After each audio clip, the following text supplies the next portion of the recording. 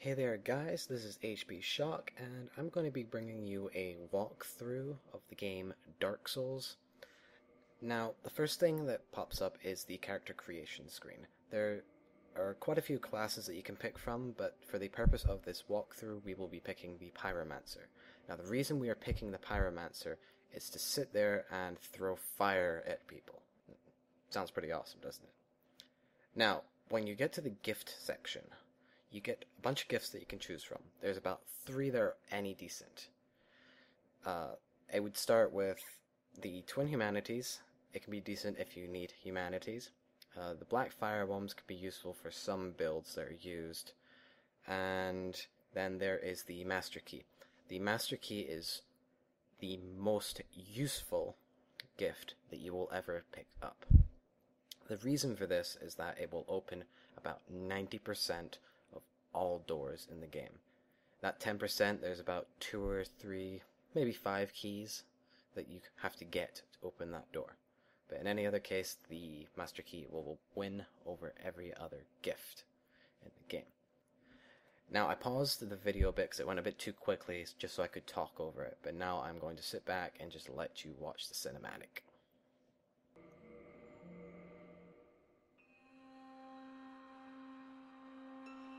In the age of ancients, the world was unformed, shrouded by fog. A land of grey crags, arch trees, and everlasting dragons.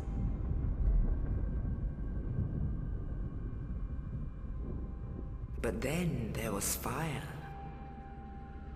And with fire came disparity. Heat and cold, life and death, and of course, light and dark.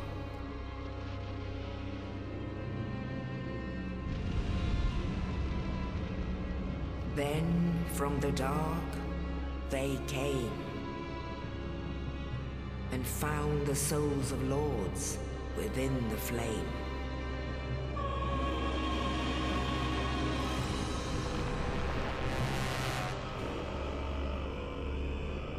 Nito, the first of the dead.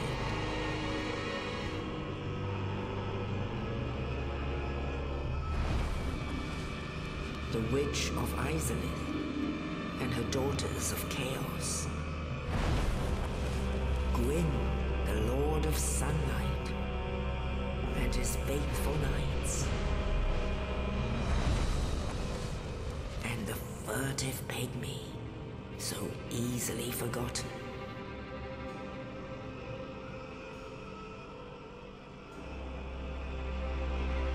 With the strength of lords,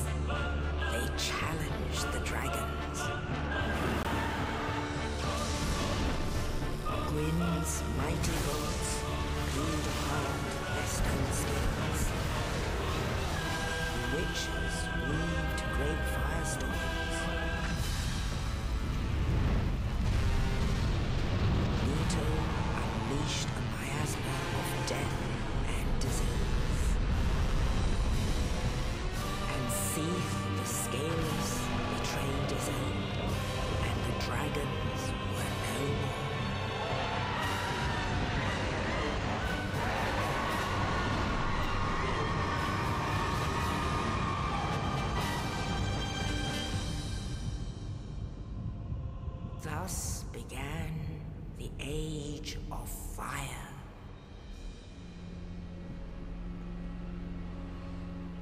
But soon the flames will fade, and only dark will remain.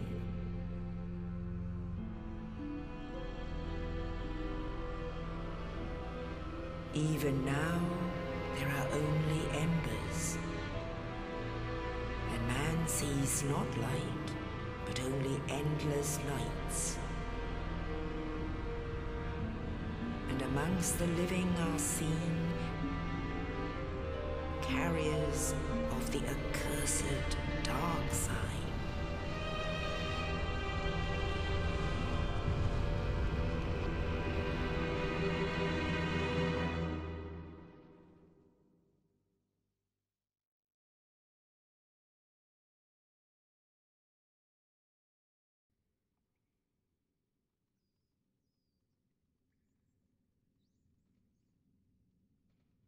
Yes, indeed.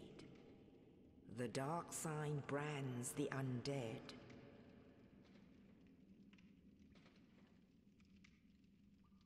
And in this land,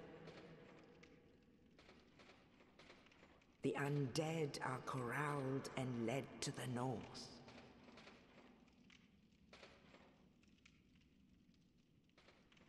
Where they are locked away to await the end of the world.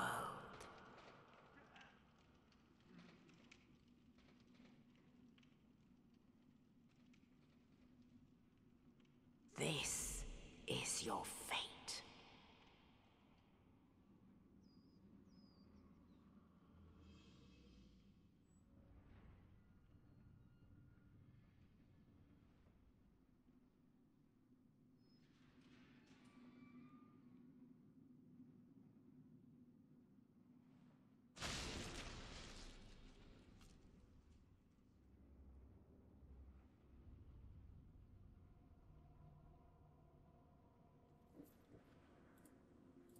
Okay, so now that the cinematic is over, we are going to proceed like normal.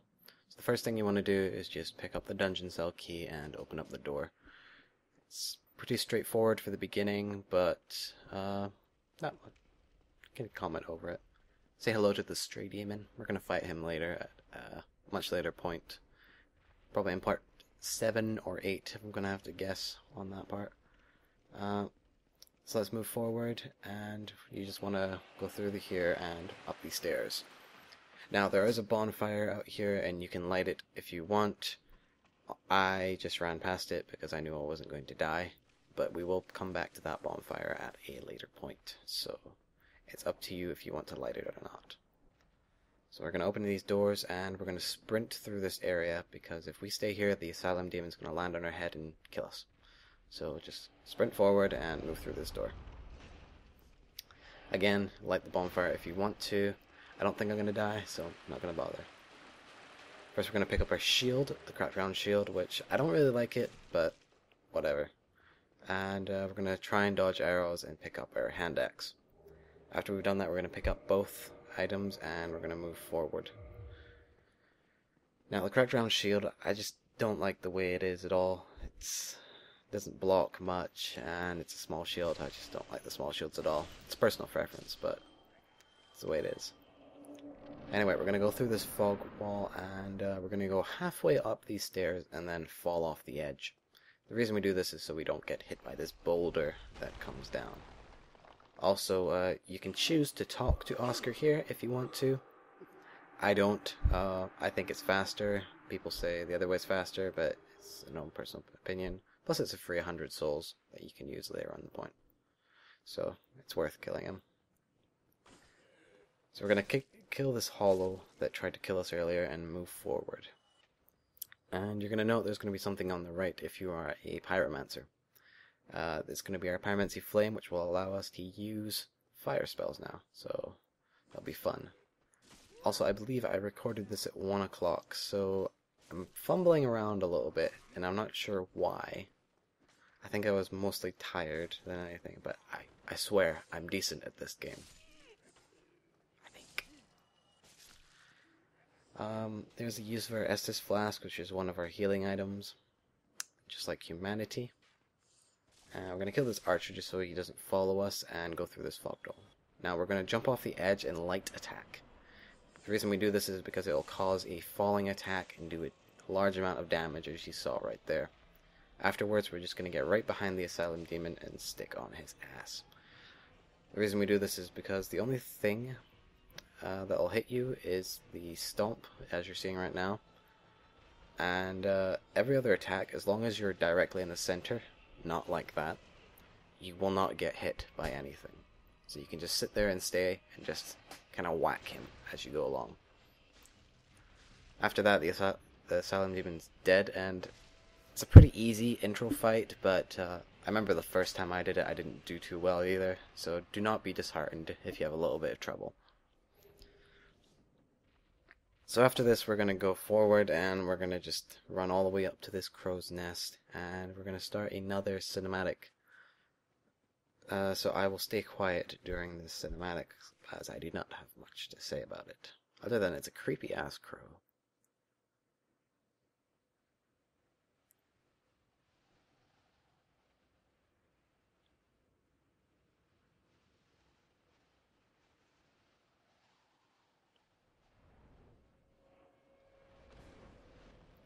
So now that we have arrived in Firelink Shrine, uh, there's a bunch of things you can go around and pick up.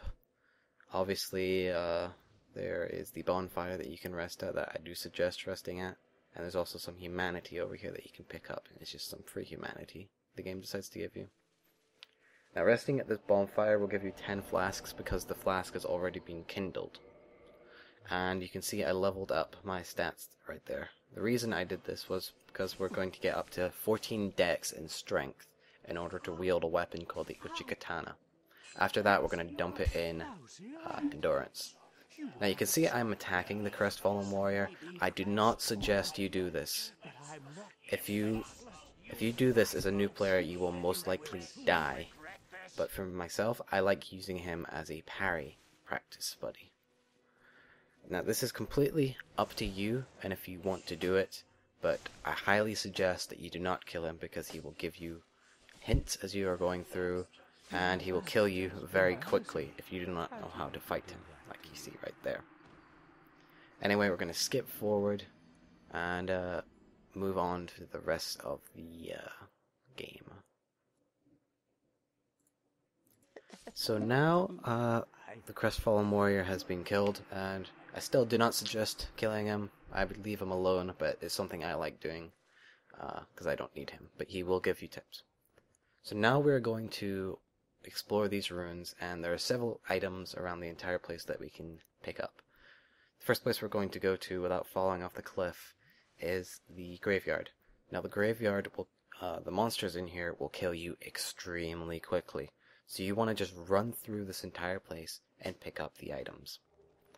The first one is a soul that we can pick up. Souls are used, they're, they're an item that you can use that will be converted into souls in your soul counter that can be used to level up and so on. So it's nice picking them up at the beginning just to have a little bit of extra souls as you go along. There's also the Zweihander, which is a two-handed ultra sword, and there is a winged spear that you can pick up. Neither of them will be used in this playthrough, except for the Zweihander for a little bit because I broke my weapon later on. But uh, we can laugh at that later. So once you pick those up, you just want to run back out and run away from these skeletons because they will kill you and they will follow you. So you want to run up these stairs and then go around this corner and pick up another soul that we can use. Now, I would suggest after picking up the soul, just running straight for the bonfire and resting, because resting at the bonfire will reset all enemies in your world. But instead, I ran around here and got some fire bombs, which work exactly like the fireball, but they're a usable item. This was a mistake on my part because now I have been followed by a skeleton out here, and I have to kill it. Because if an enemy is around your bonfire, you cannot rest at your bonfire. It sucks. But as you can see, these guys are quite difficult to kill especially at, at a low level. So I would suggest avoiding them. I also noticed I was not wearing my Pyromancy Flame at this point, so I would also equip to that before you go anywhere. But I forgot to do it, and I believe I'm about to do it right now. Another quick note about our build as well is that we will be upgrading the Uchigatana up to a Chaos Blade at a later point. Uh, the reason for this is because it's a stronger weapon and uh, it's got fire damage on it, so and it's it's a boss weapon, so I I kind of want to use it for once. Um, we're gonna go up here and pick up another soul, by the way, and we're gonna roll off this edge right here to grab a few more items, which involve a cracked red eye orbs, which will allow you to invade another person, uh, a morning star and a talisman, a morning star, sorry, and a talisman, which are completely useful, useless for us. Some homeward bones, which will allow us to go back to a bonfire we recently rested at, and some Lloyd's talismans. Uh, Lloyd's Talisman will reset a mob when you throw it at it, or it will stop a player from using Estus Flasks. So it's a decent item. Also, something caught my attention here, so I don't know what it is, but I'm going to use this to talk. But uh, as I was saying earlier, we're going to use the Chaos Blade, so we will also have to put our strength up to 16 to wield it, which I do in this video and bump it all the way up to 16, I believe, and then just leave my strength and dex at 16 and 14. And then I just start throwing stuff in endurance. Now you're going to ask me, why do I do endurance? The reason we do endurance is because endurance will increase your stamina. The more stamina you have, the more attacks you can do, the more you can roll, the more you can sprint, up to a maximum of 40 endurance. At that point, it will stop giving you any endurance whatsoever we get to a point where it's around 23 endurance, and then we're going to start throwing some stat points into vitality, just so we have a little bit more uh, health as well. So here you can see me using all the souls that we have gathered, just to level up a little bit. I would suggest doing this if you want. Uh, it's completely up to you if you want to do it now or do it at a later point. But you're going to need 14 strength and dex to wield the Uchigatana that we're going to get later. So now we can finally move forward and go up these stairs. The first thing uh, is to just be careful because uh, these mobs will start rushing at you the moment you get there. Uh, there's nothing much to them other than just waiting and being careful of the guy with fire bombs above you. A good idea is to let him throw a fireball at you, a firebomb, sorry, and then run straight past and kill this guy, allowing him to come around and you can just kill him off. There will also be this guy up the stairs that will jump at you if you're not careful. Uh, there's not much to it though. Just kill him and then we can go back down to grab a specific item. But first we have to kill these uh, Hollow Shield Warrior. Now the specific item we want is on this bridge over there. But uh, you have to jump to get over it, and as you can see, I am horrible at jumping. So, yeah, we're gonna restart. And my phone goes off there, so one moment. But we're gonna uh, skip right there for a second. So, one moment. Okay, now we have been skipped backwards, so now we're gonna make this jump and not fall in the pit of death. And we're gonna go around this corner here and make sure we don't fall off again. Uh, this ring that we picked up, the Ring of Sacrifice, allows us a free death. And the what I mean by a free death is that uh, if you have the ring equipped, you can keep your humanity, your soft humanity, your souls, all if you die. Usually you would drop all of those, but in this case they keep them for you, but the ring will shatter after one use. Now if we go in here and go to the left, we will find a soul and a rat. Rats will occasionally drop a humanity, so it's always a good idea just to kill it when you walk past here. Maybe you'll get a free humanity, maybe you won't. It doesn't like giving me humanity, so it sucks, but you might get one. Now we're gonna go up here, kill off this guy, and back away from this other one so he does not hit us and kill him off. Now we're to go and run straight for this guy because otherwise he will throw fire bombs at you. And we don't want him throwing fireballs at us. And also be careful of the guy in the room to the left. Now we're to pick up the soul and move forward. Now, do not go too close here because the Hellkite Dragon will land, like that. And uh, with DS, DS Fix, it may potentially kill you. Now these guys are a bit troublesome because of the archer, but you can get to a point where the archer will no longer fire at you, which is a, a little bit forward, right about there. You can also use the backstab invulnerability to help you out if you want. But uh, just clear out these guys like normal and kill off this archer as well to get him out of the way. Now, behind us is a room with a bonfire that we should have gone to rest to, but uh, I didn't because I didn't think I would die, but uh, I did. So here, uh, these are spear hollows. The best way to get rid of them is just to kick their shields by holding forward on the controller and light attacking. And then you just beat them. Now below is a male merchant that I forgot to actually look at his items and tell you what would uh, be sold by him. That was a bad part of my uh, that was bad for me because I forgot completely and just straight out killed him for the Uchigatana. The only way to get the Uchigatana is to kill him as well. So I start attacking him here, but I shouldn't have, and he ends up killing me. Because I am dumb. See? So I'm going to pause the video and I'm just going to put a flat screen for you guys and I'm going to read off some of the items that he can sell and see if you are interested in them. Okay, so the undead male merchant can sell you some repair powder, which will repair the durability on your weapon, some throwing knives, self-explanatory, fire bombs, Lloyd's talismans, an orange guidance soapstone, which you will get on his death, so you don't have to buy it, a residence key, which will open up a door later on, he'll drop that as well, a repair box, which will allow you to repair items at your bonfire. It's pretty good.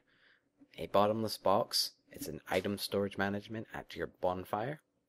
Uh, a dagger, a short sword, a scimitar, a rapier, a hand axe, a club, a reinforced club, a spear, a short bow, and a number of different shields. The most notable one is the heater shield, which starts with 100% block and 70% fire damage reduction. It's a pretty good shield.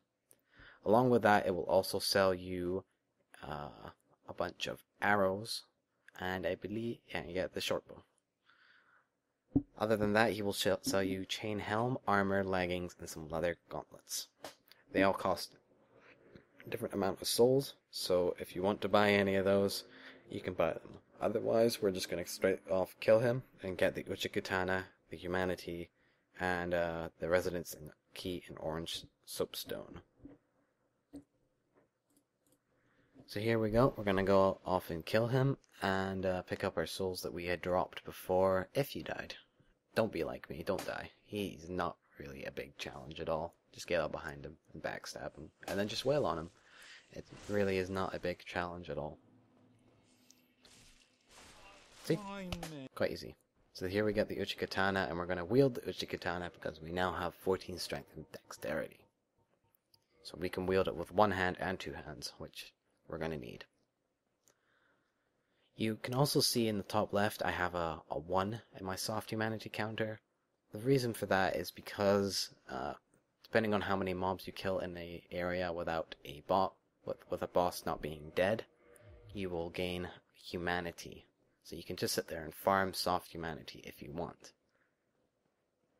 So here we're going to level up, and we picked up that shield and put it on, it, mainly because I do not like the, the small buckler, so that's the only reason. So here we're going to kill off this archer and these two or three guys at the bottom here, mainly because they will follow you if you do not kill them. And we don't want them following us at all, so... You can usually avoid pulling this guy, but I did not because I was dumb. So now we're going to move forward across this bridge. Now we won't want to run across this bridge because fire bombs are going to fall on us just like that.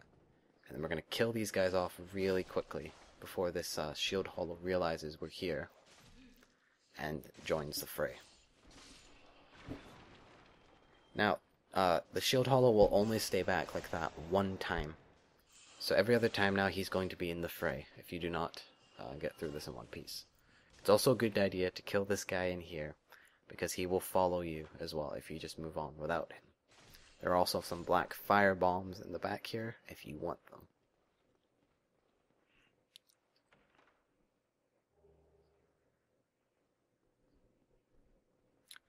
Not much to say other than uh, let's take out our Pyromancy Flame, because this is how I like to deal with this, these people. Just throw some fire bombs at them, get rid of two of them, and then just run up to the one throwing fire bombs and kill it. It's a lot of hassle fighting three of them and the firebomb guy at the same time. And we're also going to go into this tower and kill off this archer to get for a certain reason. Usually you could just ignore him if you're not going to get this ring that I'm going to get, but we need this space up here to fight a Black Knight, so we have to get rid of the archer. Now, another good way to use the uh, Pyromancy Flame is to take it out here and throw it at this spear guy. Now, I got too close, so he started walking towards me, so he blocked a portion of my damage. Just back up, and then throw it from a distance, and it will kill him off. You can also use it to kill these guys in the back here. Makes it a little bit easier and a little less annoying. So now that we've killed these, we're going to go down these stairs and we're going to walk. And to walk, you just slightly push ahead on your controller, and we're going to walk up behind this Black Knight and backstab him. Now that we've backstabbed him, we're going to just turn around and run back to that area above. The reason that we do this is because we want to have some open area to fight this Black Knight, especially if it's your first time, because uh, Black Knights are a difficult enemy for new time players. But we're going to just sit here and parry him, and then we're going to get around him, and we're going to just sit here and fish for backstabs. Now, the word fishing in Dark Souls means that you're basically just looking for backstabs on a target. And uh, that's what they'll be called in PvP. Some people call them fishermen, and so on. So we're gonna just sit here, backstab, and parry this guy to death. And once he's dead, we're gonna go pick up the blue tearstone ring that was behind him. Now, if you have trouble killing him, you can just pull him out and run around him and pick up the blue tearstone ring. You don't have to kill him if you can't manage it, but you in but if you still want the ring, just pull him out, run around him, and pick up the ring. The blue tearstone ring increases your defense once you hit a certain percentage of HP. It's a nice beginning item. It might help you survive. In most cases it won't, but it's still better to be optimistic. And we're also going to put on this ring of sacrifice because we're going to go fight Havel, who can potentially one-shot you. And he does one-shot me, so I had a feeling I was going to die against him because Havel is a challenge. Also, run halfway up these stairs and then back, so you do not get hit by this uh, flaming barrel. And then just deal with this hollow soldier like normal. I didn't know you could kick him off the edge there, though, so that was new to me. And as you can see, I was kind of confused if he was going to follow me or not. So this door here will open the door to Havel if you have the master key. If you don't, you cannot get to Havel currently. But we're going to just run down these stairs and we're going to fight Havel. Now, we're going to sit here and just parry and backstab Havel. If you don't feel comfortable uh, parrying him, just sit there and wait for him to attack and dodge to the left or the right and backstab him. But first off, we're going to get at the top of the stairs and jump off the edge here so that Havel will run up the stairs and then run away. Now the key to parrying Havel, like you just saw right there, is to wait until his weapon is almost hitting you. Then you, you parry. At that, as long as you sit there and you be patient, he will not get hit at all. As you can see, I got hit there because I was impatient.